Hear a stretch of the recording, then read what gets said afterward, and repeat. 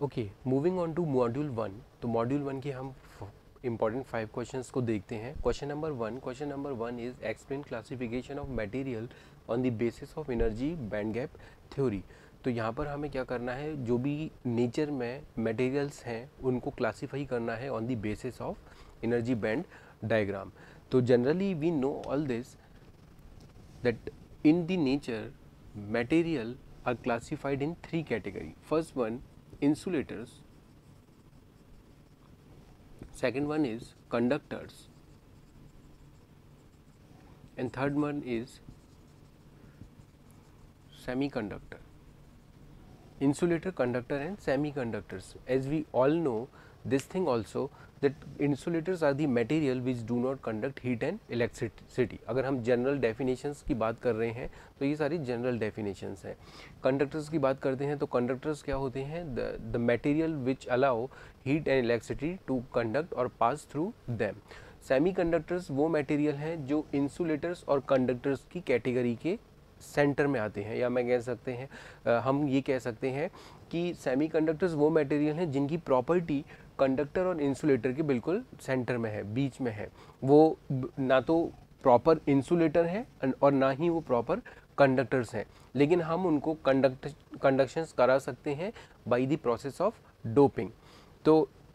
अब हमने जो जनरल डेफिनेशंस देखी हैं, वो जनरल डेफिनेशंस तो that that definitions are lab and definitions अब हमें जो क्वेश्चन है, वो क्वेश्चन है एनर्जी बैंड थ्योरी के अकॉर्डिंग हमें अपने मटेरियल्स का क्लासिफिकेशन देखना है। तो energy band gap theory is what energy in energy band gap theory we have conduction band valence band and forbidden band तो अब हमें जो भी मटेरियल को एक्सप्लेन करना है on the basis of energy band gap जिसमें हम अपना conduction band valence band and forbidden band show करेंगे। तो फ़र्स्ट वन इज़ इंसुलेटर्स तो इंसुलेटर्स की अगर हम बात करते हैं, so inside the insulators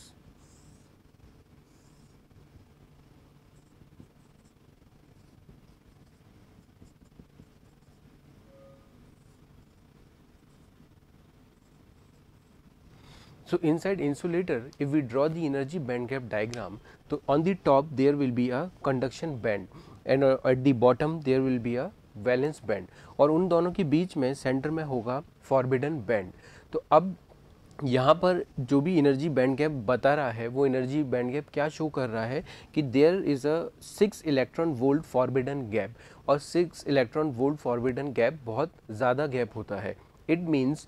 इतना गैप है कि मैं अगर एक्सटर्नल एनर्जी भी इंसुलेटर्स को प्रोवाइड करूँ तो वहाँ उस केस में इलेक्ट्रॉन्स वैलेंस बैंड से कंडक्शन बैंड में जंप नहीं कर पाएँगे। बिकॉज़ दिस ए रीजन और this area is six electron volt which is very very large जो कि जो कि बहुत ज़्यादा लार्ज होगा। तो इंसुलेटर्स के केस में मे बी पॉसिबिलिटी जब इंसुलेटर अपना स्टेट चेंज कर ले स्टेट चेंज कर, करने का मतलब it may be a solid and when when we heat heat it up वो अपना स्टेट चेंज कर ले it it may get converted into liquid और liquid get converted into gas तो पॉसिबिलिटी है कि वो कंडक्शन करना स्टार्ट कर दे। लेकिन इसके लिए एक्सट्रीम एनर्जी रिक्वायरमेंट होगा। फॉर एग्जांपल अगर हम इंसुलेटर्स का एग्जांपल देखें तो इंसुलेटर्स के एग्जांपल हैं वुड प्लास्टिक जो कि क्या करते हैं हीट और इलेक्ट्रिसिटी को कंडक्ट नहीं करते। सिनेमिक्स हैं, और भी बहुत सारे मटेरियल हैं क्लोथ्स हैं we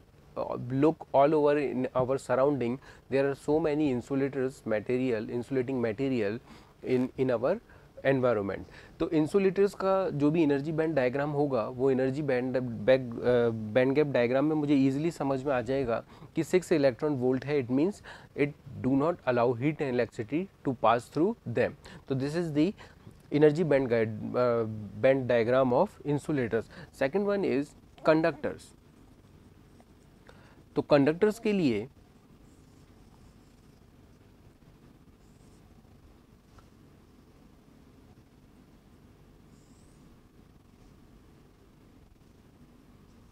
for conductors.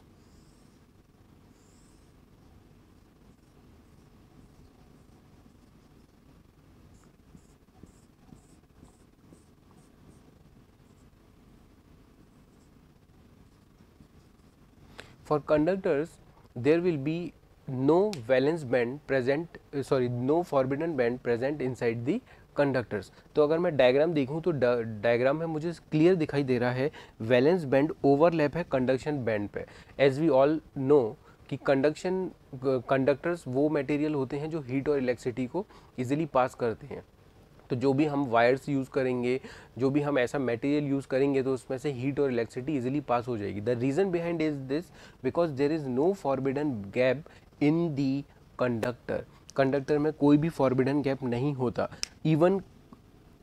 conduction band and valence band are overlapped तो यहाँ पर इलेक्ट्रॉन को जंप करने की ज़रूरत नहीं पड़ती और कि कोई भी एक्सटर्नल एनर्जी का रिक्वायरमेंट नहीं होता. बस हमें इलेक्ट्रॉन को क्या करना होता है? We have to move in a particular direction that form a current तो वो अगर मुझे करंट फ्लो कराना है तो करंट फ्लो कराने के लिए मुझे अपने इलेक्ट्रॉन को एक पर्टिकुलर डायरेक्शन देना होगा. For that we have to provide the external current or external voltage otherwise if we give the heat heat or we provide heat to the conductors it start conducting heat also तो यहाँ पर easily diagram से मुझे पता चल रहा है in conductors we have 0 electron volt our forbidden gap now the last one is third one is semiconductor जैसा मैंने पहले डिस्कस किया कि सेमीकंडक्टर वो मटेरियल होते हैं जिनकी प्रॉपर्टी कंडक्टर्स और इंसुलेटर्स के बीच में लाई करती है। तो सेमीकंडक्टर क्या है? Semiconductor is a material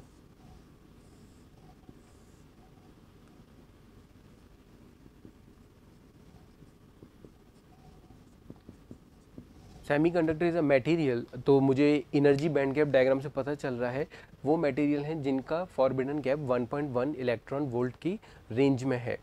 it means ये इलेक्ट्रॉन वोल्ट और we can say this forbidden gap can be reduced by using doping process तो सेमीकंडक्टर्स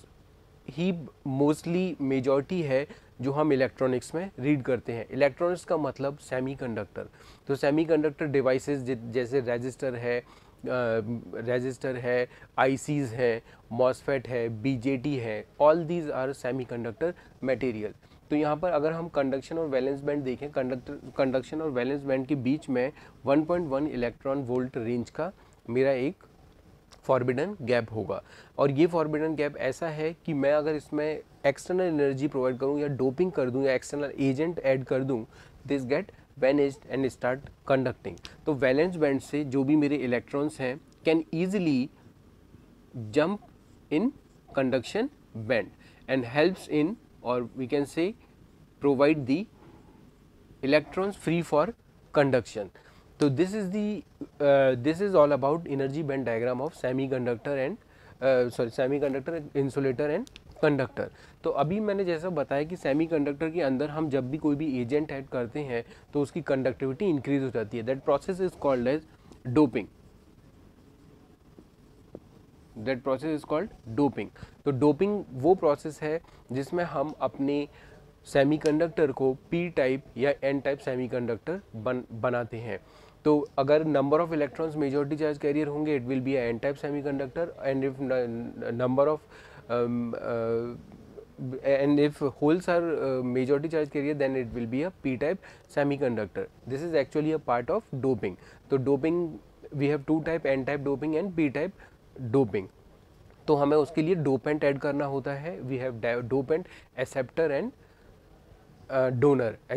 donor impurities जो कि हम अपने semiconductor purest form of semiconductor में ऐड करते हैं तो this is all about the